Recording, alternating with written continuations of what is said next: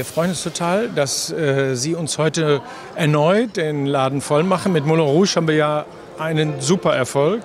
Wir machen Theater in einer wunderbaren Stadt. Die Menschen sind cool, sie freuen sich, sie machen gerne Party.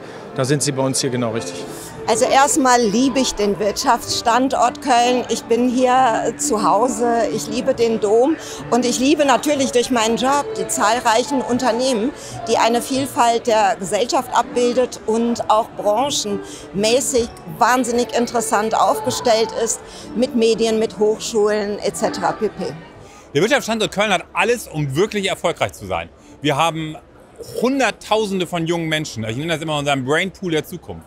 Wir haben einen total guten Branchenmix über Chemie, Stahlindustrie, Versicherungswirtschaft. Wir haben eine sehr, sehr gute digitale Infrastruktur. Also das heißt, wir haben alles, um erfolgreich zu sein in Köln. Also ich glaube, für den Wirtschaftsfaktor Köln ist es gut, dass wir eine sehr diverse Stadt sind, zumindest so in der, in der Welt und äh, in Deutschland wahrgenommen werden. Und ähm, ich glaube, dazu trägt auch der Cologne Pride äh, ein gutes Stück bei.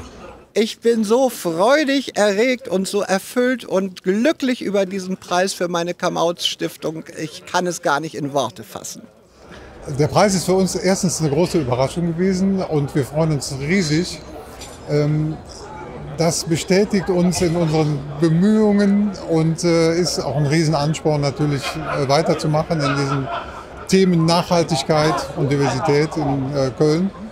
Köln ist sehr divers. Köln ist eine für mich vollkommen unterschätzte Technologiestadt. Ähm, nicht nur wir dürfen hier sehr vieles gut produzieren, sondern ich kenne viele Start-up-Unternehmen hier. Das ist wirklich toll. Von daher hoffe ich, dass in 2030 Köln super dasteht.